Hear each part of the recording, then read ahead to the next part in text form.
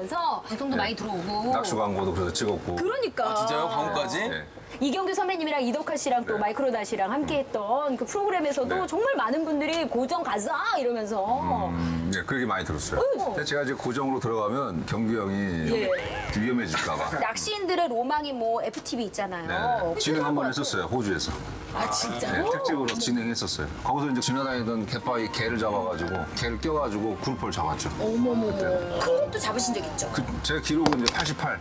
예? 88. 센치. 아니네요. 예, 88cm. 아, 이만해요. 88cm 이만해요. 근데 머리가 이만하죠. 아니 근데 굉장한 애견인이시잖아요. 에리랑 쌤. 근데 이게 지금 조금 위험해요. 혼자 개 키우죠. 또 혼자 낚시 가는 거 좋아하죠. 여자가 들어올 틈이 없어요. 근데 다 틈은 있어요. 아 그래요? 또 그런 사람이 들어오면 이상형이 있어요? 또 이렇게 딱 저는 그치. 그냥 딱 봤을 때 제가 이렇게 딱 웃을, 웃을 수 있는 여자. 매력적인. 매력적인. 오늘 절 보고 아까 진짜 전에 매력적이라고. 어, 완전 웃으시더라고요. 결혼하니까 욕심이 또 생기나 봐. 아, 남자들이라.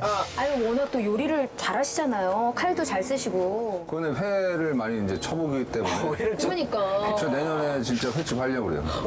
오, 진짜요? 내년엔 이제 오픈해야겠다 생각이 들어서 그리고 매주 금요일은 제가 직접 해드리고 지금 이제 연기도 하셨고 또 예능도 이제 사랑받잖아요. 이제 트로트 나오면 또 끝나는 거야. game set. 그죠? game set. 트로트 나오면은 끝나는 거야. 트로트 한번 가요. 네, 트로트 한번 가셔야 돼요. 섹션 TV 시청자 여러분 앞으로도 섹션 많이 사랑해 주시고 네. 저도 좋은 작품으로 또 찾아뵙겠습니다. 감사합니다.